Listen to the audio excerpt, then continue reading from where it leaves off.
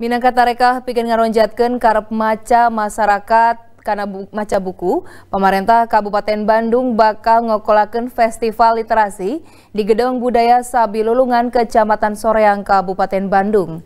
Rerancangna eta festival teh bakal dipaju timimiti tanggal 20 November tapi hiji Desember nu bakal datang.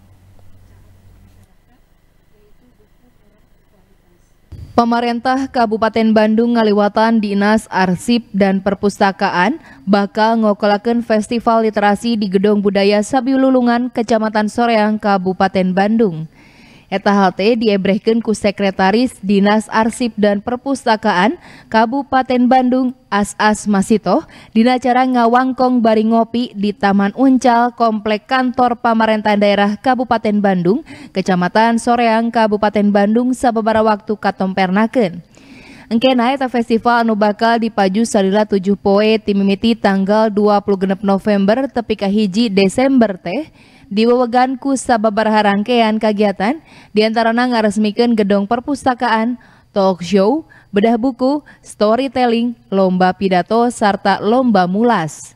Dina nasna-nasna eta festival literasi teh dipiharap mampu ngaronjatkeun karep maca masyarakat utamana Kabupaten Bandung sangkan sakumna masyarakat timang pirang hambalan boga pangawaruh sarta wawanen anu jembar.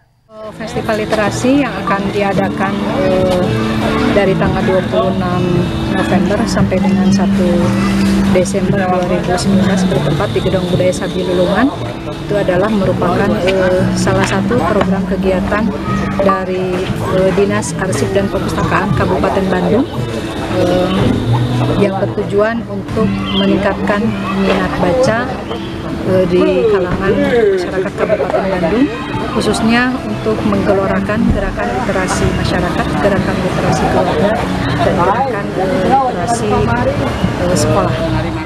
Di Neta Festival Literasi tahun 2018 teh, Dinas Arsip dan Perpustakaan bakal ngaubkeun sakumna siswa timimiti siswa SD, tapi ka mahasiswa paguron luhur.